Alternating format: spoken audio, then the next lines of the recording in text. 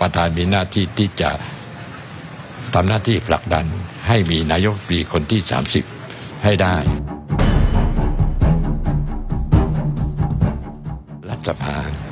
ต้องประชุมให้ได้นายกรัฐมนตรี ไม่ใช่คุณพิชานะคนเดียวนะฮะคุณพิชาได้ก็ก็ได้ไปสักกิจการแต่ถ้าไม่ได้ก็ต้องหาจนได้นายกรัฐมนตรี เพราะว่ารัฐสภามีหน้าที่ในการที่จะเลือก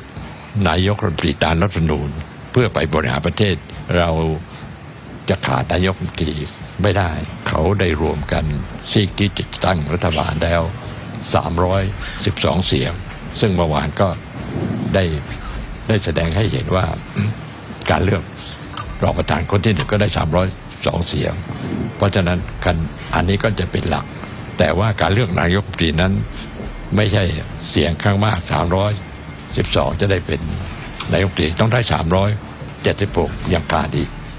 64 คือถ้าไม่ได้ก็ต้องโหวตให้ได้ 307 ผมคิดว่าเราไม่สามารถที่จะคาดล่วงหน้าได้ก็นะแต่สิ่งที่สำคัญคือว่า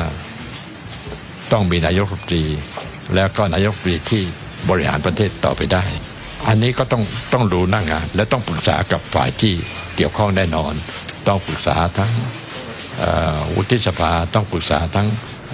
พรรคการเมืองทั้งหลาย เขาคงจะมีวิธีการที่จะต้องแก้ไข อันนี้ประธานไม่มีหน้าที่ในการแก้ไข เพียงแต่ว่าประธานมีหน้าที่ที่จะทำหน้าที่ผลักดันให้มีนายกรีคนที่ 30 ให้ได้เพื่อบริหารประเทศ ขอบคุณทุกการรับชมนะครับ แล้วก็อย่าลืมกดไลค์กดแชร์นะฮะเพจ Facebook คมชลึก รวมถึงทุกๆแพลตฟอร์มของทางคมชลึก ไม่ว่าจะเป็น YouTube TikTok Twitter แล้วก็อย่าลืมกด Subscribe ให้ด้วยนะฮะเป็นกำลังใจกันครับ